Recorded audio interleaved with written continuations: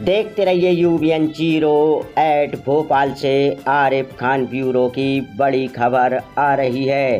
Bhopal Raja Bhoj airport पर emergency landing.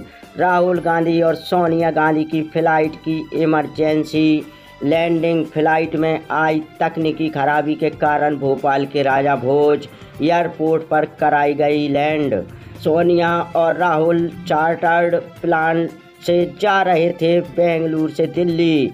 Flight में आई तकनीकी खराबी के कारण कांग्रेस के वरिष्ठ नेता राहुल गांधी एवं सोनिया गांधी को भोपाल एयरपोर्ट पर उतारा गया।